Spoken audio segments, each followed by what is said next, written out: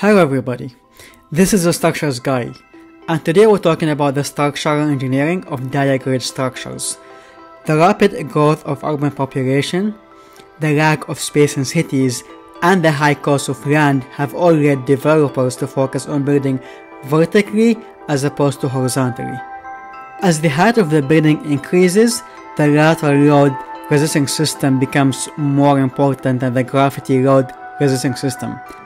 The most common lateral load resisting systems are rigid frame system, shear wall system, braced tube system, and outrigger system.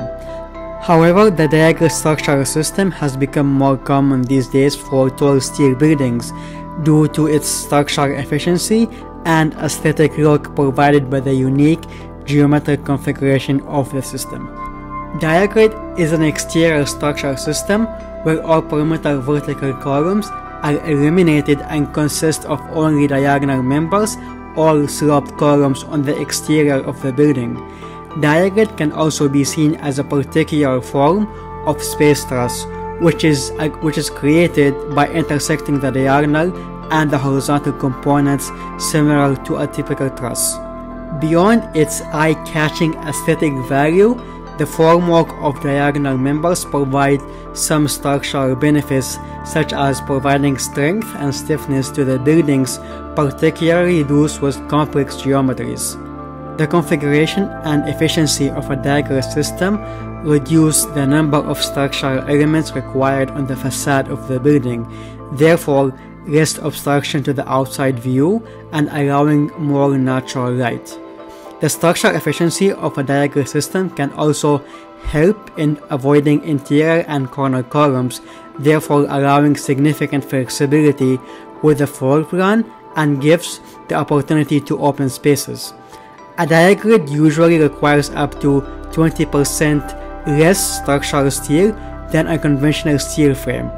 The reason for using less structural steel is that diagrid structures do not need high shear rigidity cores because shear can be carried by the diag diagrid located on the perimeter.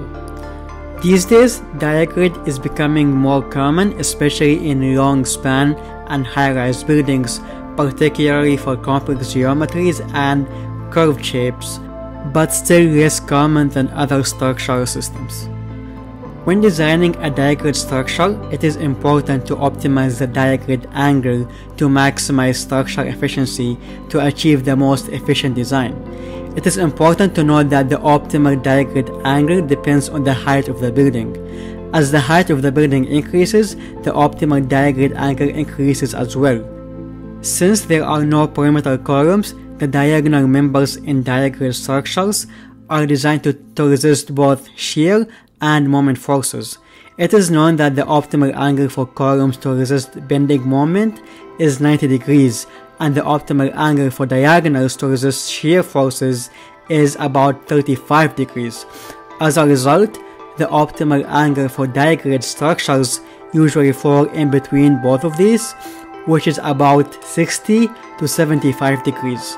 One important factor when designing diagrid structures is the node which are defined to be the intersections or the connections of the diagonals. Those nodes need to resist vertical loads and horizontal shear. The nodes are joined by means of bolting or welding depending on the diagrid structure. It is known that the structure is as strong as its weakest link, which is why nodes have to be designed properly to ensure structural safety. Both the engineering and fabrication of the joints or nodes are more complex than of orthogonal structures. Usually to save money, the nodes are connected by means of bolts, not welds as welding costs more to perform on the field and takes more time to complete. The vertical and horizontal loads in diagonal structures are transferred in form of axial loads from the diagonal members above the node to the node which is made up of plates and bolts to the diagonal members below the node in form of tension and compression.